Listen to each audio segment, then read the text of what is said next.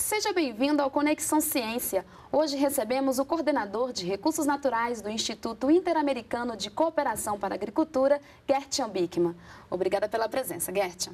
Da mesma forma, muito grato né, por, por essa oportunidade. Vamos conversar daqui a pouco sobre desertificação. Fique conosco, o Conexão Ciência está no ar.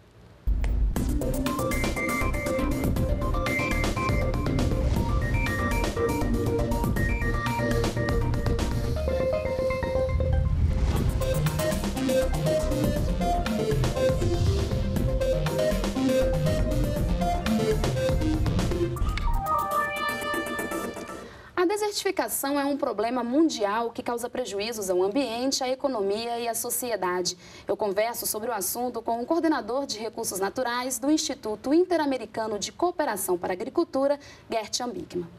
Gert, então vamos começar explicando o que é a desertificação. Bem, é, desertificação, pela definição das Nações Unidas e da Convenção de Combate à Desertificação, é que é, trata-se de um fenômeno né, que tem suas causas é, naturais, né, variações climáticas, mas, sobretudo, as ações antrópicas, ou seja, as atividades humanas né, que impactam é, o meio né, e o, e, o, ambiente como um todo.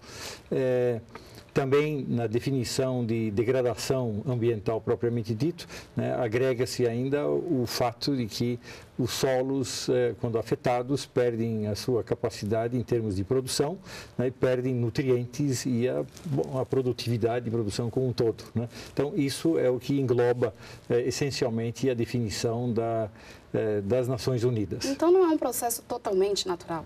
Não, não, porque tem uma, tem uma participação de atividades humanas extremamente importante, né? ou seja, no, no manejo não adequado né, do, do meio e principalmente no trato do solo. Né? Então há sempre uma preocupação muito grande né, no sentido de se garantir a melhor e uh, as mais adequadas práticas né, na utilização e no manejo do solo como um todo. Foi assim que surgiram os desertos que nós temos hoje?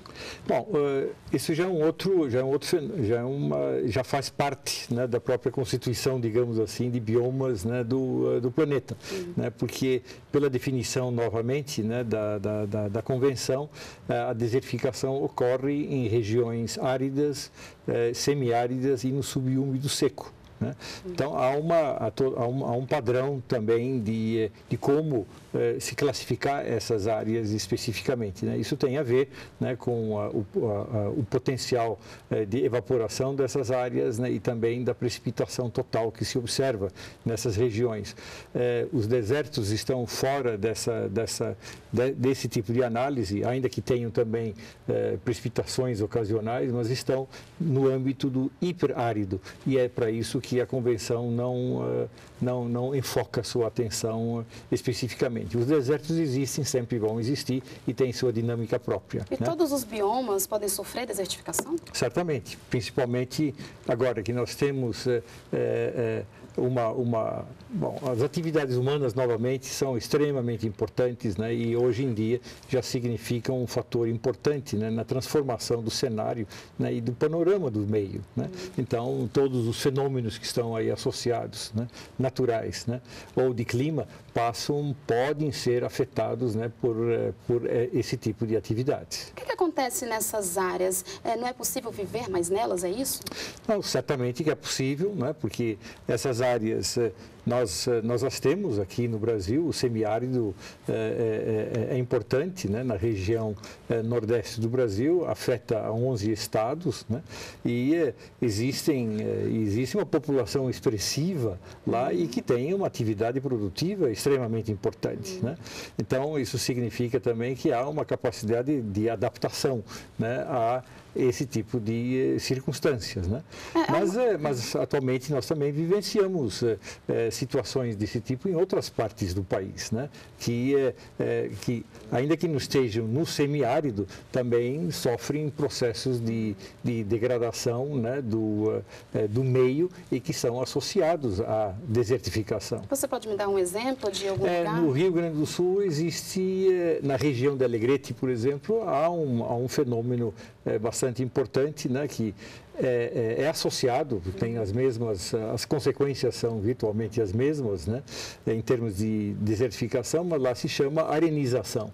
Mas isso talvez muito mais motivado pelo, por, por essa classificação que eu mencionei, né, de é, é, árido, semiárido, subúmido, seco.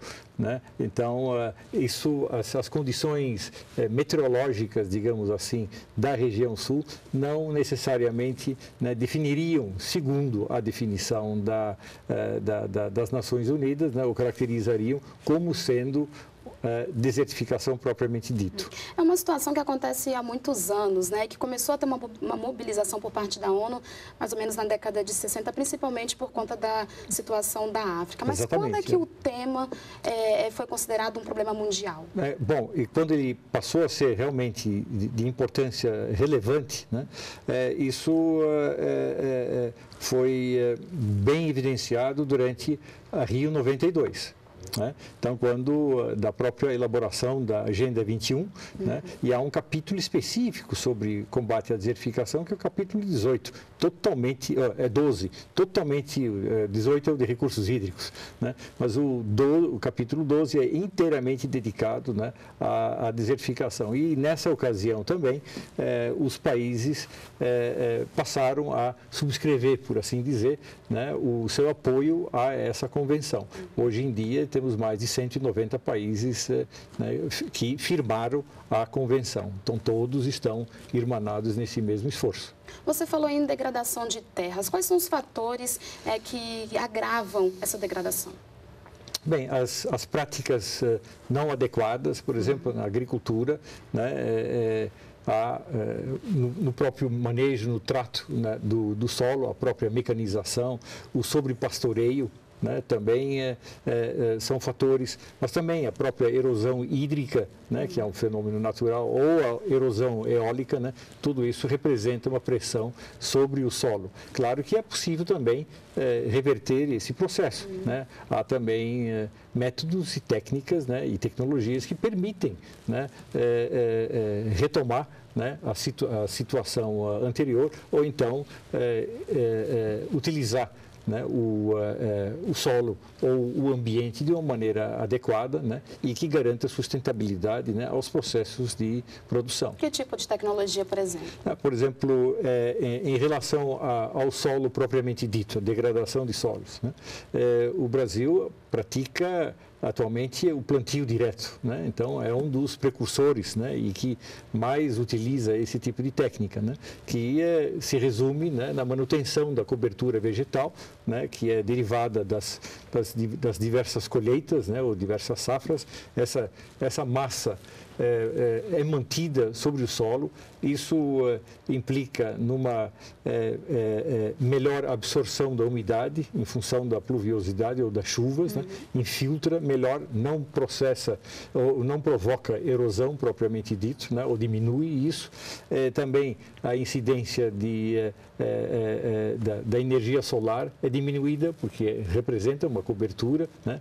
e, e é matéria orgânica. Então, tu, tu, tudo isso né, faz parte né, do organismo que é o solo e, é, é, obviamente, dessa maneira né, se pode é, é, é possibilitar né, um melhor rendimento né, tanto quanto a fertilidade e, e, e, aporte né, de nutrientes ao, ao, solo. E isso promove a vida. E essa é a sustentabilidade, de novo, né, necessária para uh, os, uh, os plantios né, de outras culturas e também a eh, sustentabilidade né, dos processos de produção. Além dos impactos ambientais, quais são os prejuízos no campo econômico e social? Bem, o, é, o que nós temos atualmente, né, e principalmente na África se nota isso, é, são os refugiados ambientais. Então, quando são acometidos ou quando essas comunidades ou populações são afetadas de uma maneira extremamente drástica, então isso promove a própria, o próprio movimento dessas massas né, e que vão, obviamente, para os centros urbanos e o que necessariamente, o que resulta em impressão pressão né, sobre uh, os, os, serviços urbanos né, de, de, e também uh, uh, representa uma, uma, uma, bom, uma, uma degradação da qualidade de vida né, dessas pessoas, né, porque, em geral, elas têm um mínimo de sustentabilidade né, de, locais onde estão e se se locomovem para outros centros, em geral, não têm a, a, a, os meios também para serem absorvidos dentro dos uh, processos que estão associados a centros urbanos, né, em termos de prestação de serviços, por exemplo. Uhum. Né? Então, o êxodo rural, por exemplo, é um impacto é, importante. Gert, vamos falar um pouco mais do Brasil. Qual é a situação do país hoje? Bem, é, no trabalho que está se fazendo em termos de. Já temos um plano nacional de combate à desertificação. Isso está sendo conduzido pelo é, Ministério do Meio Ambiente né, e, e, a diretoria específica né, de combate à desertificação. Também é, está se elaborando os planos de ação estaduais de combate à desertificação nos 11 estados né, da região né, do, do semi, que, que, estão, que, do semiárido. E também já existem uh, uh, planos municipais né, de combate à desertificação. Pelo menos temos um desses, que é na região de Irauçuba, no Ceará. Né? Uhum. Então, isso é, é, é, já permite, né, pelo menos, vislumbrar né, que há uma a um, um, interesse nos três níveis de, de governo né, em relação a essa a essa problemática, a esse fenômeno. Né? Uhum. E que, obviamente, pode vir a orientar políticas públicas especificamente orientadas para a, a, as uh, intervenções físicas né, de controle e de recuperação das áreas que estão em processo de, de desertificação. Uhum. Já foram mapeadas também as áreas suscetíveis à desertificação na região como um todo. Então, isso já é, uma, é, uma, é, um, é um passo extremamente importante né, na identificação de onde a vulnerabilidade principal acontece né, e onde eh, e riscos obviamente associados e onde então as, eh, as inversões ou as intervenções podem ser mais focadas. E hoje né? no Brasil, qual é a região que mais sofre com a desertificação? É, nós temos reconhecido, reconhecidamente quatro, quatro, quatro núcleos importantes né, de desertificação. É, um deles é, é, lá em Irauçuba, né, também na região do entorno, também é, sofre é, problemas críticos dessa ordem. Também em Cabrobó, na em, em, na, no estado de Pernambuco e, e, é, e vizinhanças com Bahia, né, na região do Seridó, né, do Rio Grande do Norte, né, também, mas com Paraíba, no Siridó Paraibano e do Rio Grande do Norte, e também Gilboés. Gilboés é no sul do Piauí, uhum. né, que são considerados os núcleos digamos assim, de desertificação. Mas já existem ações né, governamentais também em, eh, em, em ação, né, e a própria cooperação internacional né, também está envolvida nesses, eh, eh, nesses trabalhos, né, em termos de, de apoio, e há mobilizações locais também, da uhum. mesma forma. Né? É, as secas prolongadas em algumas regiões do, do, do, Brasil agravam ainda mais a situação. Qual a relação entre a seca e a desertificação? É, bem, a, a, a desertificação, eh, como já comentamos, tem o componente climático né, uhum. É, associado às, às ações é, humanas. Agora, em relação à seca, há diversas definições do que, que é seca. Né? Existe a seca meteorológica, né, que é, corresponde a um desvio significativo da precipitação média né, é, é, é, anual, por exemplo. Né? Então, é, se se está muito abaixo daquilo que historicamente tem sido verificado como sendo a média, uhum. né? Então temos uma anomalia e isso corresponderia a uma seca. Né, principalmente se ela for mais prolongada. Então, isso tem a ver em termos de quantidade e também como ela se distribui. Então, isso é a seca meteorológica. A seca agrícola, por exemplo, né, tem a ver com uma, a, a, a, disponibilidade de umidade no solo, né? porque aí o solo, o solo funciona como armazenador, por assim dizer, né? quais são os requerimentos hídricos né, das culturas, né? aquilo que elas necessitam né, para o seu é, desenvolvimento, né? e a precipitação propriamente dita outra vez. Né? Então, é, é, esse, isso seria, estaria caracterizando uma seca agrícola. Há, uma, há também a seca hidrológica, né, que corresponde à disponibilidade de água né, nos mananciais, né, seja nos rios e nos reservatórios né, e nos aquíferos. Né. Então, se esses são é, depressionados né, ou se há uma diminuição na capacidade de armazenamento ou na disponibilidade de águas é, é, é, superficiais ou subterrâneas, temos a seca hidrológica. Uhum. E há ainda a seca ecológica, né, que onde a produção primária é afetada por falta de chuva. Produção primária, nesse sentido, é, é a vegetação nativa, né? ou uh, florestas, ou campos. Né? Se esses entram em colapso, em função da falta de chuva, tem-se então uma seca ecológica, porque as funções naturais e serviços né, de, de, um ecossistema desse tipo estariam sendo afetados. E como é que a agricultura sustentável então pode contribuir para minimizar o problema? Bem, a agricultura sustentável é baseado nas práticas adequadas e também na garantia de suprimento né, do insumo água.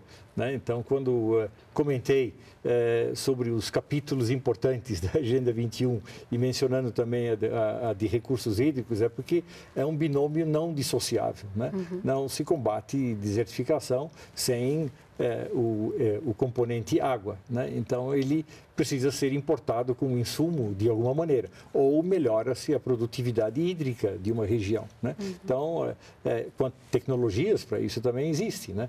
Existe a, a colheita de água da chuva, por exemplo. Né? Então, essa, essa é uma forma. Existem as barragens é, subterrâneas. Né?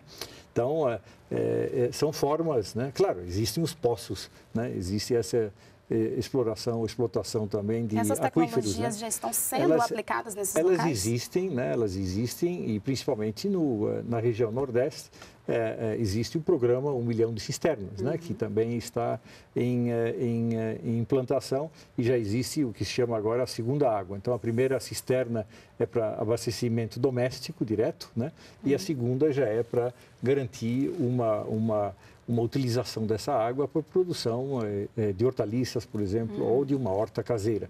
Né? E, as, e então, as, pesquisas sobre mudanças climáticas, elas também, de que forma que elas podem contribuir para isso? Elas são extremamente importantes, uhum. né? principalmente né, é, é, nessa, na, na, nos relatórios né, que são é, elaborados e apresentados pelo pelo, é, pelo painel intergovernamental né, de, de, mudanças climáticas da, da Organização Mundial de Meteorologia, né, que também é, é, aponta diversos cenários né, de mudanças é, na distribuição de temperaturas, por exemplo, por efeito né, das emissões de CO2, né, que atualmente temos em, em, grande quantidade. Né, que esse é um dos complicadores atualmente. então, há uma série de simulações né, de cenários para diversos graus de aumento de temperatura. Bom, com isso, há uma redistribuição, de novo, da pluviosidade né, em termos geográficos. Ou seja, a temperatura como é, afeta diretamente esse tipo de processo. Uhum. Né? É, havendo uma redistribuição da chuva, do ponto de vista geográfico e também no tempo, né, isso afeta, obviamente, de novo, os, eh, eh, eh, os sistemas todos né, de, de, produção, seja os de produção de, de hidroenergia, né, ou então na própria agricultura. Né? Então, aí necessariamente tem que se ter agricultura irrigada. Né? Bom, e todo, tudo aquilo que depende é, diretamente né, da, da água. A, a, previsão de, da existência de alguma área em que no futuro não poderá ser mais habitada? É, o que, o que aponta nessa, nessa redistribuição né, de, é, é, da disponibilidade dos recursos hídricos né, é que algumas regiões vão ser mais privilegiadas do que outras. Uhum. Né? É, mas aí também, claro, baseado em cenários desse tipo, né, deve-se planejar exatamente esse futuro, né? como se adaptar a esse, a esse tipo de situação. Então, com tecnologias adequadas, né, uhum. né, também, novamente, é possível né, eh, se adaptar às situações. Obviamente que é muito mais desejável não chegar a esse tipo de situação uhum. crítica, né, mas eh, existem os meios que, obviamente, precisam ser mais incentivados e, e principalmente adotados né, para que eh, se possa conviver de forma adequada com isso. Realmente, planejamento nesse sentido é extremamente importante, né, porque pode afetar toda a infraestrutura, inclusive, né, de suprimento de água. Né? E, a, e, a, sociedade, é, ela tem consciência do que está acontecendo? é, certamente, né, também há, há, uma, principalmente nesses planos todos, há o envolvimento também da sociedade civil organizada, né, seja por ONGs ou por movimentos, ou, e de qualquer maneira é, é, é a própria imprensa e a, a, a comunicação é extremamente importante nesse, é, nesse aspecto, né, no sentido de veicular uhum. né, essas mensagens e a própria preocupação diante desse, desse tema.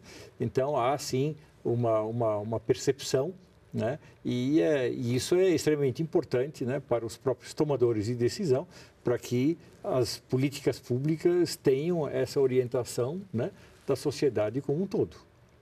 Ok, Gertian, obrigada pela entrevista e até uma próxima oportunidade. Eu agradeço muito e espero que, gente, que tenhamos uma outra é, oportunidade para conversar sobre esse tema que é tão importante. Okay. E o Conexão Ciência fica por aqui. Você pode conferir os dias e horários das reprises na página da EBC ou da Embrapa na internet. Assista o programa também no canal da NBR no YouTube. Obrigada pela companhia e até a próxima semana.